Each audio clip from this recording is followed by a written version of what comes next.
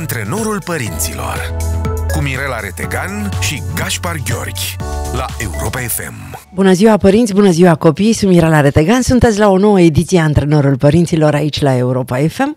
Alături de mine în studio, ca de obicei, Gaspar Gheorghi, bună dimineața! Bună dimineața Mirela, să știi că în această dimineață, în drum spre radio, mi-am pus zâmbetul pe chip și mi-am amintit de promisiunea pe care am făcut-o și am venit cu o energie mult mai bună decât de obicei. Bravo, Gaspar, să știi Mulțumesc. că primim foarte multe mesaje pe Antrenorul Părinților pe Facebook cu oameni care uh, ne scriu că își amintesc de fiecare dată când sunt în trafic să-și deseneze zâmbetul.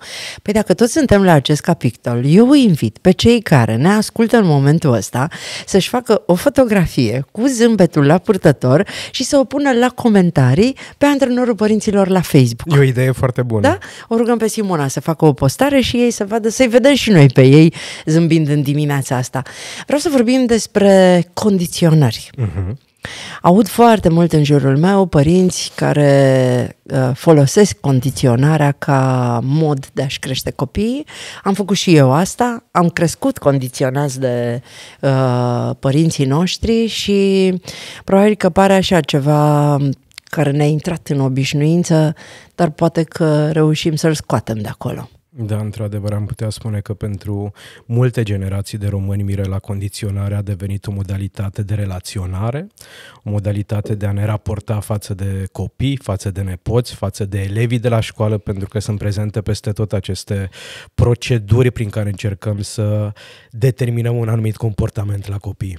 Cum se percepe uh, în emoțional condiționarea?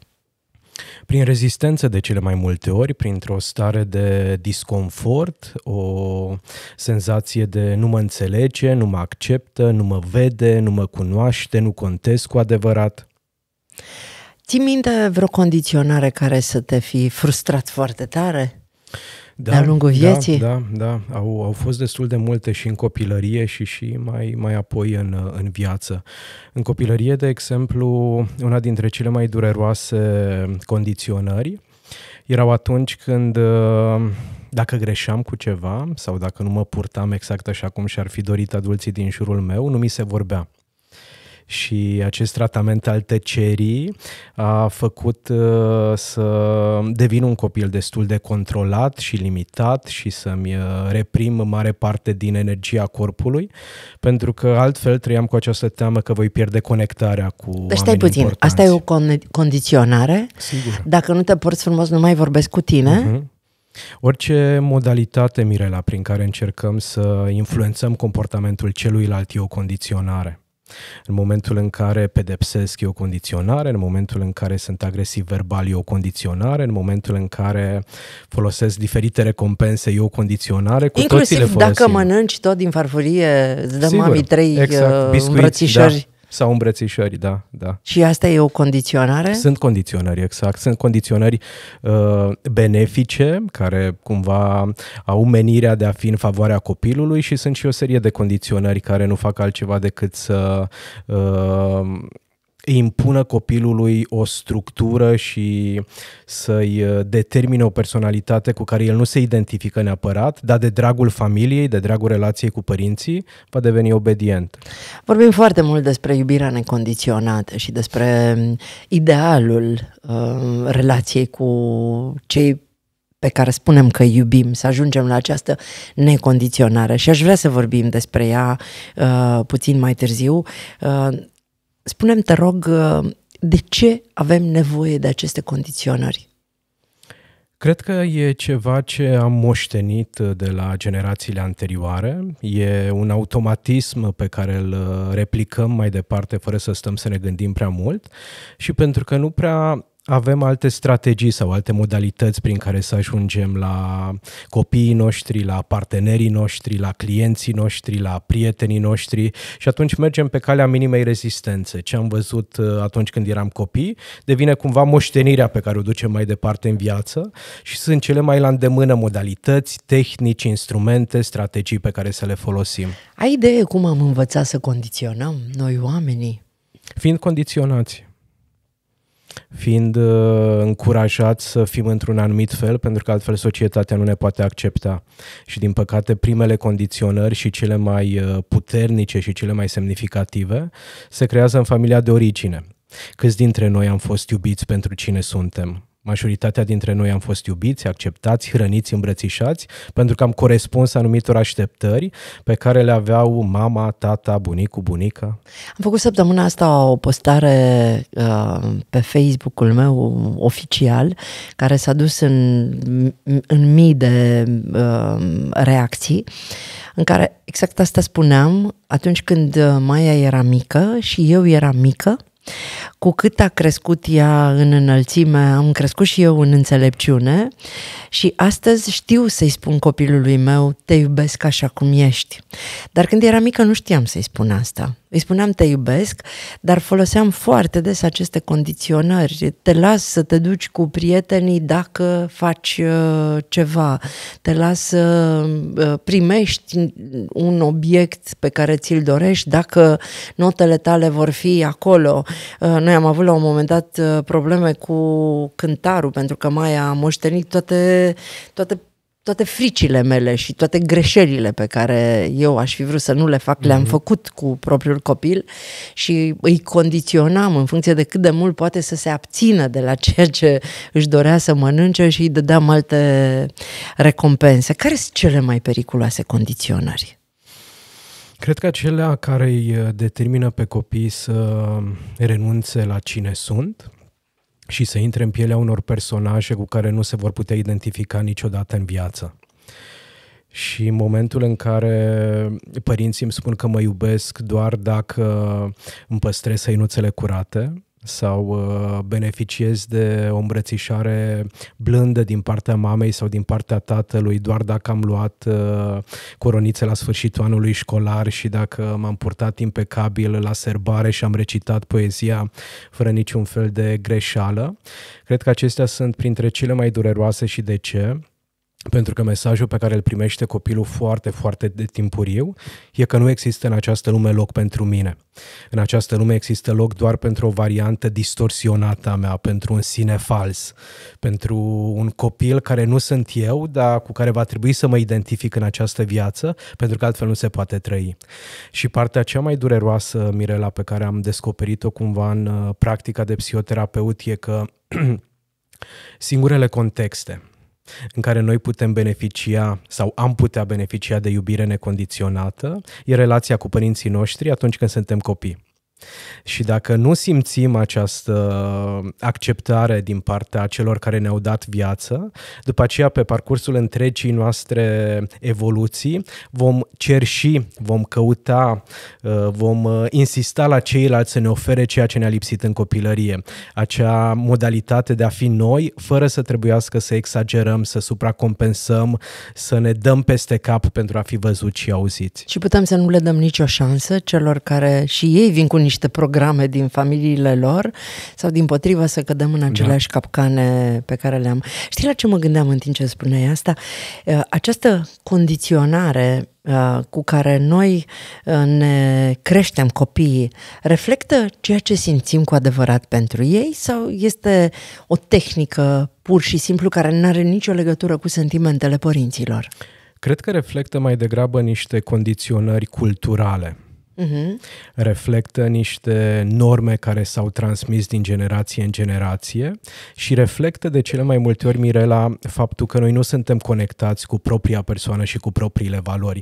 Pentru că dacă am stat să analizăm un pic în profunzime care este efectul asupra copiilor noștri și de ce facem ceea ce facem, care sunt explicațiile, motivele și așa mai departe, lucrurile s-ar uh, flexibiliza un pic. Am ieșit din această încordare, din această rigiditate, dar nu avem timp să ne adresăm astfel de întrebări pentru că sunt multe alte lucruri despre care societatea ne spune că sunt mult mai importante. Știi când uh, am reușit eu să manifest iubirea necondiționată față de Maia? Din momentul în care am început să mă concentrez pe mine. A venit o zi în care, după ceartă cu Maia, chiar după ceartă cu Maia în care i-am pus niște condiționări foarte dure și uh, am, uh, am exagerat foarte mult în manifestarea unor nemulțumiri, care n-aveau o bază reală, erau doar frustrările mele, erau um, obiectivele mele neatinse, știi? Și după o astfel de discuție, uh, eram uh, în, în vinerea de Paște la Borșa, țin minte și unde s-a întâmplat asta. Am plecat pe deal, eram cu colegii mei și Amalia, care este mâna mea dreaptă la Zurli, m-a luat deoparte și a zis, s-a, s-a supărat foarte tare, ai rănit-o foarte tare. Nu vrei tu să te concentrezi pe tine? A îndrăznit, deși ea este cumva subalterna mea, dar fiind de atâția ani împreună, a, dar a spus-o într-un fel în care nici, nici ea nu în, avea curajul să formuleze. Dar mie mi-a răsunat în cap, într-un mod care mi-a schimbat complet hmm. viața. Când a spus concentrează-te pe tine, am realizat că toate reproșurile pe care îi le făceam mai și toate condiționările pe care eu le aplicam erau legate doar de incapacitățile mele de a atinge niște obiective. Da. Și ce frumos că în Vinerea Mare tu ai reînviat, de fapt. Da, de adevăratele. Ăla a fost momentul care pe mine apoi mi-a schimbat complet uh, perspectiva în relația cu toată lumea din jurul meu și cu șefii da. și cu angajații și cu mama și cu prietenii, concentrându-mă pe mine eu n-am mai avut timp să... Nu mai simți nevoia să-i controlezi pe ceilalți Și să-i judeci, da. și să-i analizezi, și să-i etichetezi. Pentru că în momentul în care îmi venea să-i fac un reproș mai sau să-i pun o condiție, mă gândeam, stai puțin, dar tu ai făcut asta? Îmi ziceam eu mie. Nu. Ok, ia muncește, mătăluță, doamna tovarășa Mirela Retegan, repară tu mai întâi problema asta la tine, în momentul în care eu am rezolvat problema alimentației la mine, mai și-a rezolvat singură problema. Hmm. În momentul în care eu am rezolvat legătura mea cu tatăl ei, i-am lăsat loc copilului să-și rezolve și ea legătura cu el. Hmm. Foarte frumos. Mi se pare fantastic felul în care, de fapt, ceea ce facem pentru noi se reflectă în ceea ce facem uh, exact. indirect pentru exact. ceilalți. Și cât de mult se schimbă destinul copilului dacă părintele are grijă de propria persoană. Din acel moment, eu am reușit să îmi manifest iubirea necondiționată. Am simțit-o toată viața pentru Maia, dar abia din acel moment am reușit să o și exprim. Iar ea se simte astăzi un copil iubit necondiționat. Hmm. Dar Gașpar, revenim la iubirea necondiționată a părinților pentru copii. Dar până acolo, aș vrea să-i ajutăm pe oamenii care ne ascultă să-i explici tu care e diferența între condiționare și limitele sănătoase? Pentru că eu nu mai condiționez pe Maia, dar asta nu înseamnă că nu pun niște limite. Și Sigur. că nu sunt în continuare părintele ei care trebuie să o ajute să nu deraieze și să nu devieze de la drum. Hmm. Probabil că nu e o limită foarte, foarte clară între cele două, între condiționări și granițe sau limite, cum le-ai numit tu. Însă de cele mai multe ori condiționările pornesc de la o idee de genul că tu ar trebui să fii altfel tu nu ești bine așa cum ești, iar eu am puterea, am controlul, am forța și autoritatea de a determina aceste schimbări la tine. Hai să, hai să uh, vorbim puțin uh, specific. Uh-huh. Tu nu ești bine așa cum ești cum ești? Adică nu înveți... Nu ești un copil suficient de inteligent. Ok. Nu ești un copil suficient de slab. Arătos. Arătos, da. exact. Da. Nu, nu ai ești... un aspect așa cum aș vrea eu să ai. Nu ești un copil suficient de sociabil. Nu ești un copil suficient de zâmbăreț nu ești un copil suficient de harnic, harnic de implicat în uh, sarcinile școlare sau în chestiunile administrative și atunci vin eu și... Uh, nu ești un copil suficient de supus? De exemplu, exact. Și atunci vin eu cu autoritatea mea de părinte și voi încerca să fac tot posibilul pentru a tra- te transforma în cine cred eu că ar trebui tu să fii. Îmi imaginez așa un grafic pe perete, știi? Și uh, la fiecare punct să tragem o liniuță cum îl condiționăm pe copilul care nu ni se pare suficient de aspectuos, că e cel mai la îndemână. Uh-huh. E grăsuț, mănâncă mult sau e foarte slab și mie nu-mi place cum arată, aș vrea să arate altfel și atunci ce-i fac? Mă uit urât la el în momentul în care mănâncă. Fac... Eu de las uh, pe tine să spui că aș putea să spun eu, da. fac diferite comparații între el și alți copii care au kilograme mai puține. Uh, îl critic, îl judec de fiecare dată când își exprimă preferințele alimentare. Uh, îmi dau ochii peste cap atunci când uh, aleargă sau își pune corpul în mișcare și poate obosește un pic mai repede. Sau când nu-și pune corpul în mișcare și stă pe canapea și aș vrea să... Ok, și cum fac să-l ajut să... Că, că poate nici el nu e fericit cu felul în care arată. Uh-huh. Că problema mea de părinte nu vine doar din dorințele mele, ci eu văd tristețea lui acolo. Cum fac să-l ajut fără să-l condiționez? Știi ce transmitem noi aici la Antrenorul Părinților din uh, prima ediție încă? Și anume faptul că cel mai important aspect atunci când vine vorba de interacțiunea părinte-copil este relația. Sunt eu uh, conectat la copilul meu sunt eu deschis față de copilul din fața mea sau îl confund de fiecare dată cu copilul din imaginația mea.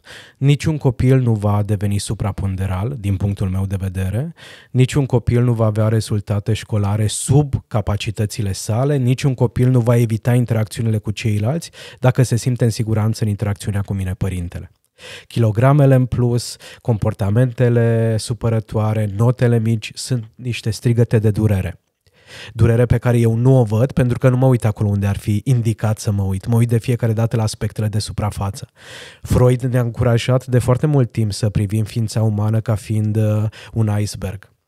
Și noi atunci când ne uităm la copiii noștri, vedem doar vârful, partea de suprafață. Nu îndrăznim să ne uităm în adâncime și știi de ce?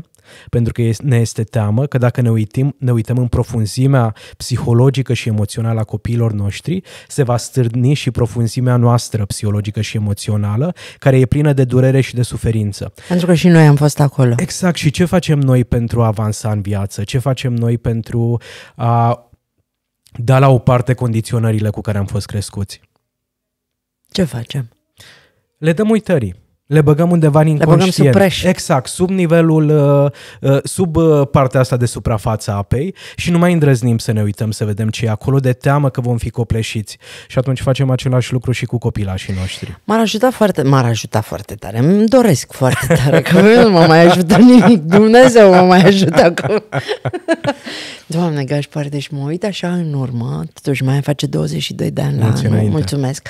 Și mă uit în urmă câtă luptă am dus să înțeleg singură niște lucruri, pentru că pe vremea în care eu am născut-o nu exista nimic, dar chiar nimic, iar acum există doar un doctor, nu mai știu cum îl cheamă, Spuc, Spuc, Spuc. Da. Și acum e foarte contestat. Bine că nu l-am citit. Nici măcar scuza aia nu l-am că l-am citit pe ăla și din cauza lui am făcut niște alegeri greșite. Dar am fost într-o permanentă căutare, într-o luptă permanentă. Eram conștientă de greșelile pe care le fac.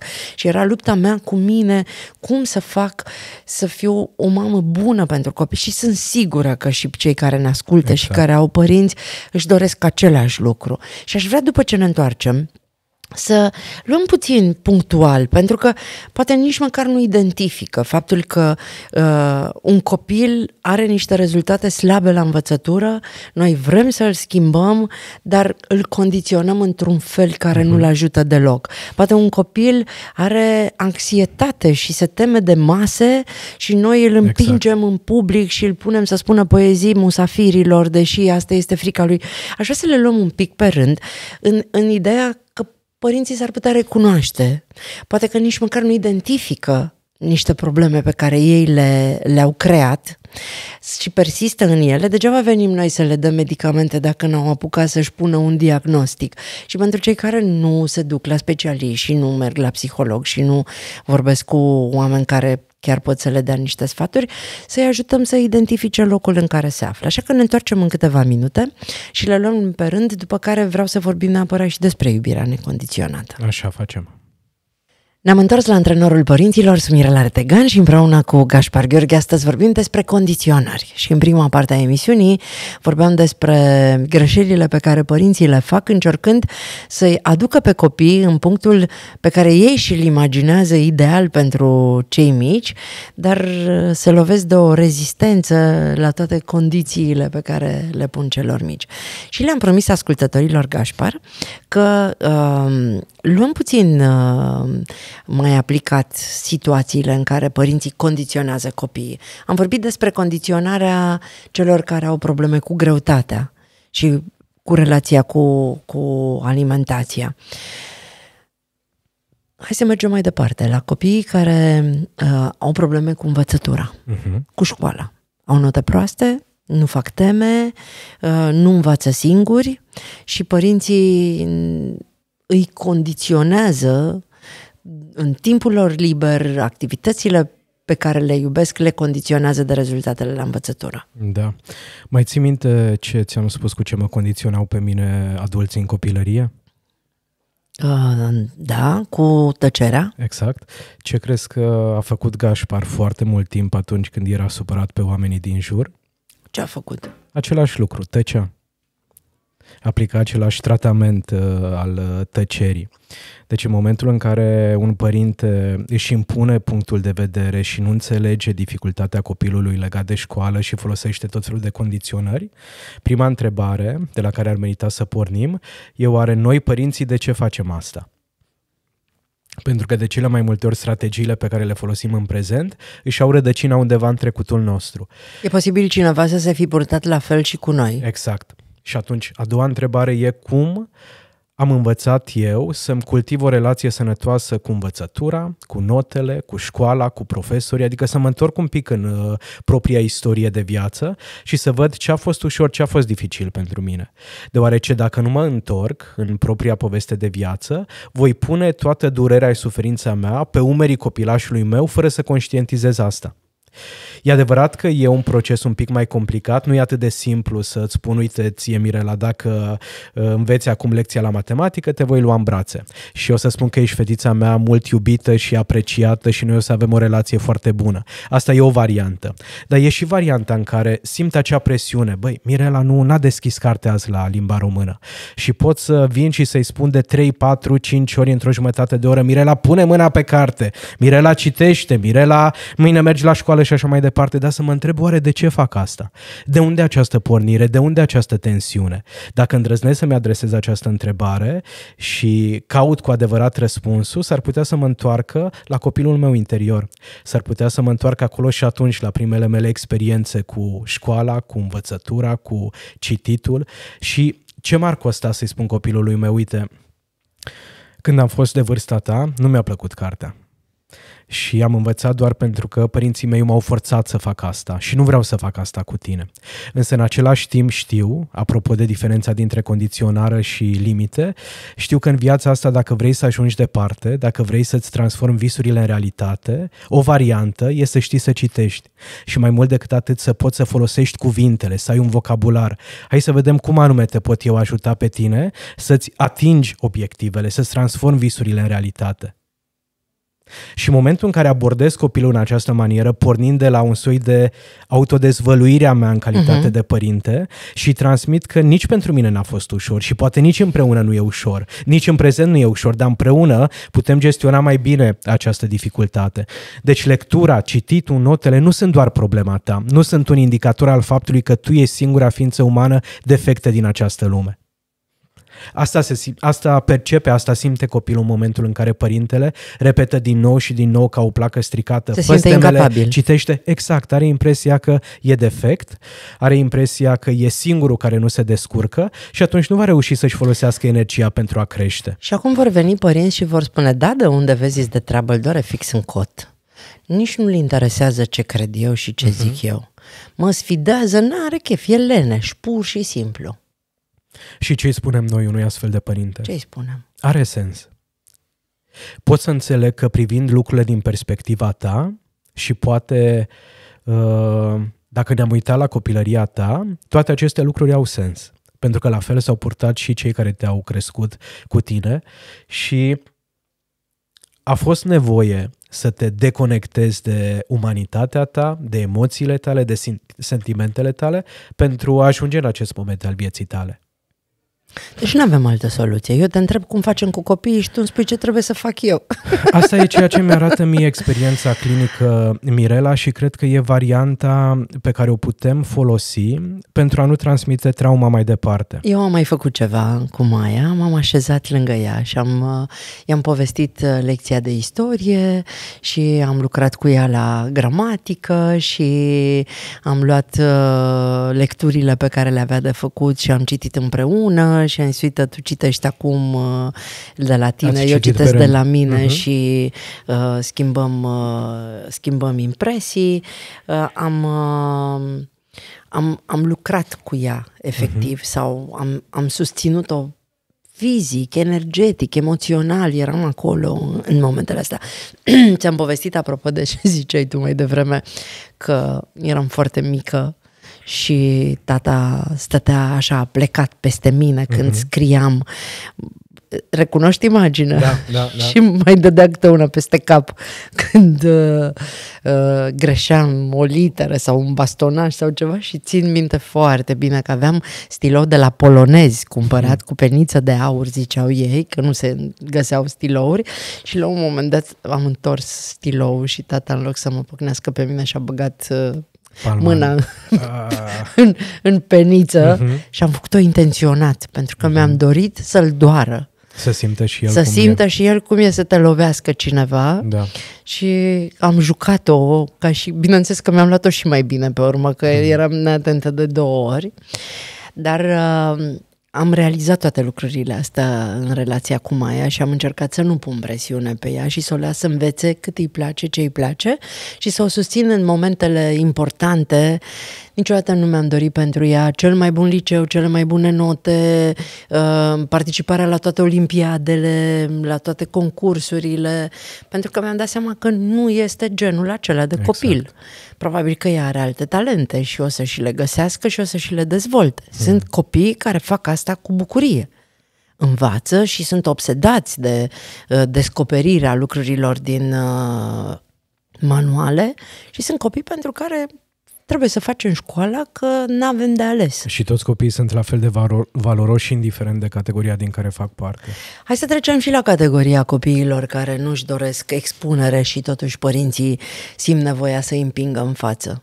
Eu am fost genul ăsta de mamă, mm-hmm. pentru că eu fiind sub, supra-extrovertită, Maia o persoană mult mai retrasă, simțeam, mă simțeam prost că mergeam cu ea la evenimente în public și ea stătea lipită de mine și nu vorbea cu nimeni, saluta, uh-huh. dar era de o discreție maximă uh-huh. și eu eram uh, efervescentă, eram foc de artificii și am pingeam, dar du-te, dar vorbește, dar zi și tu și...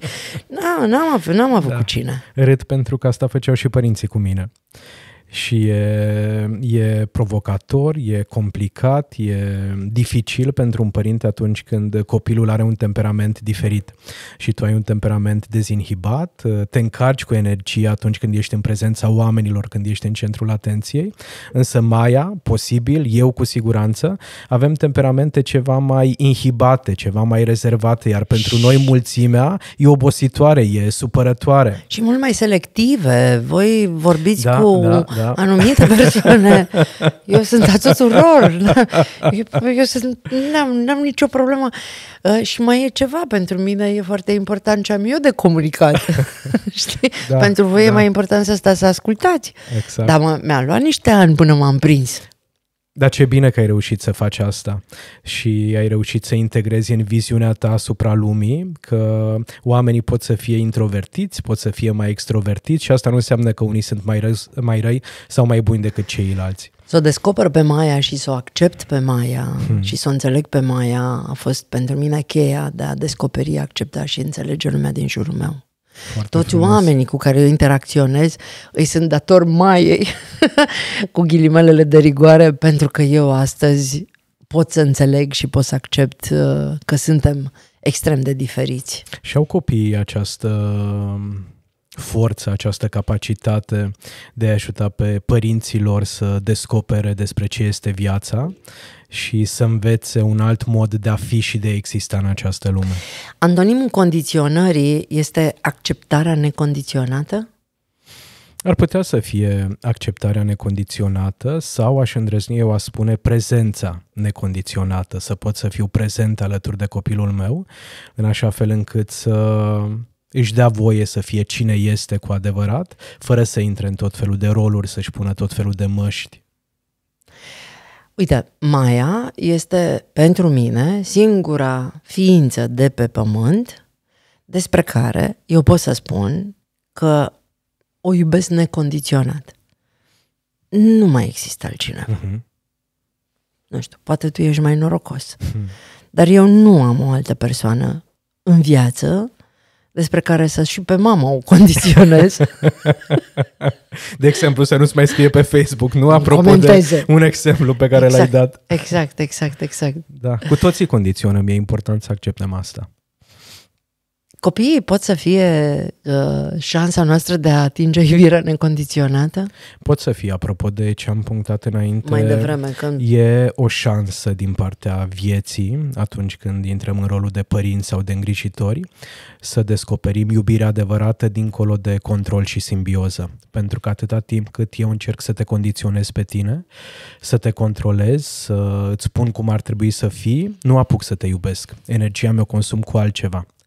Dar te iubesc, Gașpar, dar aș vrea totuși să știu cu cine vorbești, uh, cui îi mai dedici timpul și dragostea ta, uh-huh. cui mai dai atâta atenție cât îmi dai mie, uh, pe cine mai asculți, uh, cu cine mai faci echipă. Și aici din nou vorbim de un tipar. Avem acest comportament la vârsta adultă, în relația de cuplu, în relațiile cu colegii și cu prietenii, pentru că din copilăria noastră, Mirela, aducem foarte multă nesiguranță. În momentul în care părinții și îngrijitorii ne-au condiționat, așa cum am spus înainte, n-au avut timp să ne iubească, n-au avut timp să ne ajute să ne simțim în siguranță, să avem încredere, să simțim că da, putem fi alături de ei, fără să ne protejăm, fără să avem tot felul de mecanisme de apărare. Și toate acestea le ducem cu noi mai departe în toate relațiile semnificative din adolescență și de la vârsta adultă. Cred că un prim exercițiu ar fi să le eliminăm pe dacă. Hmm. Pe dacă din uh, felul în care cerem lucruri de la celălalt. Dacă faci asta, fac asta. Da. Dacă vii la radio, da, o să-ți spun da. uh, ceva care te interesează. Hmm. Și să-ți spun direct, când vii la radio, să-ți spun ceva care te interesează, nu te mai pune pe tine în gardă și da, nu te mai da. simți uh, condiționat. Hai să întrebăm pe oamenii care ne ascultă care sunt uh, felurile în care s-au simțit condiționați mm. când erau copii. Sunt foarte curioasă. Abia aștept să auzim răspunsurile lor și asta și, pentru că... Și îți propun să fie asta întrebarea și pentru Facebook. Minunat, minunat. Care sunt modurile în care ați fost condiționați de părinții voștri? Atunci când eram mică, părinții mei mă condiționau uh, cel mai mult uh, în ceea ce privește școala, să învăț cât mai bine și în funcție de notele pe care le primeam, aveam recompense, tocmai din ideea de a mă motiva cumva spre binele meu să învăț sau să ajung cineva în viitor. Eu cred că fac parte din categoria foarte norocoasă de copii care nu au fost foarte condiționați de părinți, desigur, când eram foarte mic, mai auzeam lucruri de genul trebuie să vii la ora asta acasă sau învață ca să ajungi cineva în viață. Dar în rest nu pot uh, spune că am fost condiționat de către părinții mei, fiind foarte deschiși și având o relație cu ei bazată foarte mult pe încredere. În sensul că nu trebuia neapărat să-mi uh, pună condiționări ca să fac anumite lucruri sau să respect anumite reguli. Părinții mei au avut tendința uh, să mă condiționeze de cele mai multe ori prin amenințări și prin agresiuni verbale sau fizice. M-au crescut după vechiul tipar de control absolut și după vorba eu te-am făcut, eu te omor. Era totul pe principiu dacă nu înveți note bune să vezi ce bătaie mănânci, dacă nu vii acasă înainte să apună soarele să vezi ce pățești, dacă nu faci cum zic eu te dau afară din casă și pe străzi și tot așa. Gașpar, crezi că există o școală în care oamenii învață cum să condiționeze? Sunt atât de diferite modalitățile. Ar putea fi, într-adevăr, o școală care se regăsește în fiecare casă, în fiecare familie, în fiecare instituție de învățământ, din păcate, da. Și spuneam înainte că abia aștept să aud uh, ce spun ascultătorii noștri și de ce. Pentru că putem uh, înțelege un pic mai bine uh, toată încărcătura nocivă a condiționării dacă o conștientizăm și dacă vorbim despre asta, dacă îndrăznim să punem în cuvinte uh, experiențele noastre dureroase, pentru că putem învăța unii de la alții. Noi românii avem tendința de a ne ascunde vulnerabilitățile, durerea și suferința, pentru că nu avem acest exercițiu. Dar din fericire lucrurile pot să fie schimbate. Și atunci când realizăm de cât de multe feluri e această condiționare, abia atunci putem face niște schimbări semnificative în comportamentele noastre. Să le spunem celor care ne ascultă că eu o să ofer uh, unui ascultător care completează pe Facebook la antrenorul părinților răspunsul la întrebarea în ce feluri ai fost condiționat când erai mic, o carte dincolo de parenting și teorii, provocările părintelui de astăzi, cu discuțiile noastre de la antrenorul părinților și jocuri de jucat toamna, Asta este o colecție foarte frumoasă în care eu am strâns uh, jocuri pe care părinții le pot face cu copiii oriunde. Am plecat de la ideea că mai am spunea de foarte multe ori, hai să ne jucăm ceva și eu aveam blank. Și am zis, dacă eu care sunt mama jocurilor și din asta trăiesc, am momente în care mă blochez, ce fac părinții care nu au acest exercițiu. Și am scris o serie de jocuri de jucat pe anotimpuri Minunat. și o fac cadou pe cea uh, de toamnă. Ce ne-ai adus acolo? Din partea paginii de psihologie am adus și mai uh, recent uh, apariție editorială, Darul prezenței conștiente și cred că se leagă foarte bine de subiectul discuției noastre pentru că avem nevoie de această conștientizare Uh, pentru a face schimbări, iar uh, autoarea oferă foarte multe exerciții practice, exact așa cum îți place ție, apropo de cum putem trăi în așa fel încât să fim noi și să renunțăm la ceea ce ne-a spus societatea că ar trebui să fim, să renunțăm la condiționări. Dacă tot e despre condiționare, uh, mă bucur foarte tare că astăzi sunt sigură că părinții care ne-au ascultat și cei care ne-au ascultat au identificat niște programe pe care fie le-au preluat de la părinților, fie le aplică pur și simplu la nivel de societate. Putem să facem față felului în care societatea ne obligă la condiționări fără să fim pedepsiți pentru asta? Deci întrebarea e dacă putem să facem Putem să față... trăim fără condiționări? Uh-huh. Nu cred că putem fără condiționări. Uh, uite, de exemplu, o condiționare e și ce am făcut noi acum. Răspundeți la întrebare și noi vă dăm cadou o carte. E o formă de condiționare. Doar că, care e diferența? Diferența e că noi adulții putem alege care sunt acele condiționări pe care le acceptăm și acelea pe care le respingem. Din păcate, copiii noștri nu au această libertate și atunci de cele mai multe ori ei se simt nevoiți să se supună. În momentul în care condiționările pe care le resimțim sau le vedem în jurul, în jurul nostru nostru favorizează atingerea obiectivelor noastre, ele sunt în favoarea noastră. Vreau să încheiem misiunea cu un cântec. Am uh, adunat în versurile unui cântec uh, un mesaj care vorbește fix despre asta. Uh, te iubesc așa cum ești. Mm. Este un cântec pe care uh, Marius Moga l-a compus. Eu am scris versurile și Narcisa Suciu cu fetița Zurli îl cântă. Este fix concluzia acestei emisiuni și ceea ce ar trebui noi, părinții, să facem pentru copiii noștri. Mulțumesc frumos, Gașpar! Mulțumesc! Îi invit pe cei care ne ascultă să nu uită că suntem în plină campanie Încalță un copil de toamnă și intrați pe Fundația Zurli, unde găsiți toate detaliile prin care puteți să ne ajutați. Peste 150.000 de copii se duc în continuare în România, flămânzi și nu au o pereche de încălțări cu care să treacă iarna. Anul trecut am încălțat 10.000 de copii, anul acesta ne-am propus 15.000, de oriunde ați fi, din orice colț al lumii și ne ascultați, puteți să fiți parte din această campanie, iar în seara de Crăciun, când o să vă bucurați alături de cei dragi la căldurică, o să țineți minte că anul acesta un copil din țara asta, unde încă mai există foarte multă sărăcie, trece iarna fără să închețe picioarele datorită vouă. Sumire la Retegan și alături de Gașpar Gheorghe vă dorim o duminică minunată. Mirela Retecan și Gaspar Gheorghi. Antrenorul părinților la Europa FM